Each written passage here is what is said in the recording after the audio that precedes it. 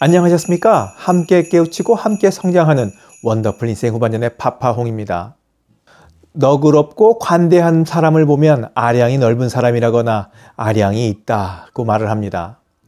깊고 너그러운 마음씨를 뜻하는 아량은 동시에 사람이 지닌 그릇이 크다는 뜻을 품고 있기도 합니다. 한 해 한해 나이 들어가면서 마음의 그릇도 커져야 합니다. 그래야 어른답다 하겠죠. 하지만 안타깝게도 그릇이 커지기는커녕 인색해지고 따지기 좋아하고 눈앞에 있는 이익에 눈이 멀어 그나마 있는 그릇이 쪼그라들어가는 사람들이 많습니다. 그래서 오늘은 어른됨의 그릇은 어떠해야 하는지 여러분들과 이야기 나눠보려고 합니다. 본격적인 이야기 지금 시작합니다.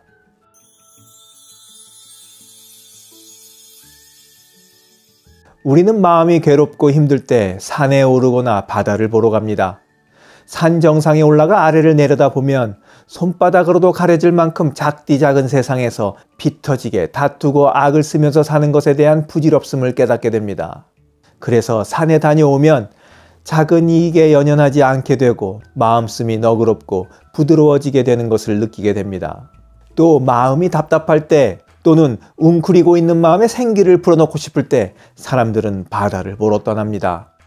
바다를 마주하며 걱정과 시름을 풀어놓기도 하고 불안한 마음을 파도에 실려보내기도 합니다. 또한 자신이 품고 있는 꿈과 목표에 대한 이야기를 들려주기도 하고 바다로부터 영감과 기운을 얻어 돌아가죠. 호연직입니다.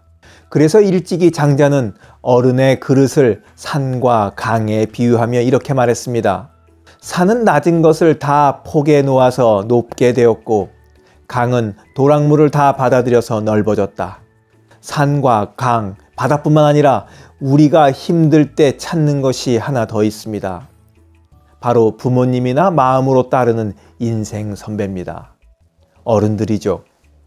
그래서 집안에 어른이 필요하고 사회에도 어른이 필요한 것이겠습니다. 하지만 청년들은 어른이 없어 불행한 시대를 살아가고 있다고 말합니다. 그러고 보면 어른이란 나이를 먹는다고 해서 너무도 당연스럽게 되는 것이 아닌 모양입니다. 세상 살 만큼 살았고 산전수전 공중전까지 다 겪어봤다고 어른이 되는 것은 아니죠. 왜냐하면 세상은 자신이 경험했던 것보다 더 넓고 다양하기 때문입니다.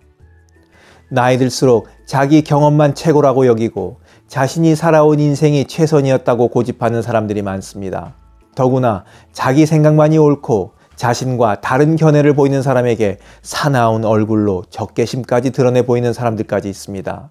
어른이라면 산처럼 굽어보고 바다처럼 품어줄 수 있어야 합니다. 이래라 저래라 이것이 옳고 저것은 틀렸다고 지적할 필요도 없습니다. 들어주고 품어주면 자신들이 알아서 깨우칩니다. 이런 어른이 되기 위해서는 매일매일 도공의 마음으로 어른됨의 그릇을 키워가는 노력을 게을리하지 말아야겠습니다. 사회의 어른까지는 아니더라도 자식들이 믿고 의지하고 힘들 때나 용기가 필요할 때 찾아올 수 있는 집안의 어른이 되고 싶습니다. 영상을 보신 모든 분들이 산처럼 굽어보고 바다처럼 품어주는 어른됨의 그릇을 지니고 살아가시길 바라면서 오늘 이야기 마치도록 하겠습니다. 원더풀 인생 후반전에 멋지게 나이 먹기는 계속됩니다. 감사합니다. 자랑질, 지적질, 아는 채, 있는 채 하는 사람들에게 지치셨죠? 상대방의 얘기 경청하고 익은 벼처럼 겸손한 사람들이 모인 곳이 있습니다. 바로 네이버 카페 실버들의 전성시대입니다.